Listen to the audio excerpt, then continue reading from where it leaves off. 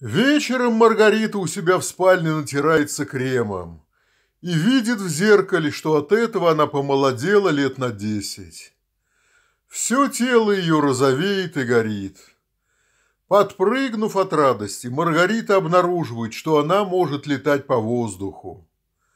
Домработница Наташа едва не падает в обморок, увидев свою хозяйку в новом обличье.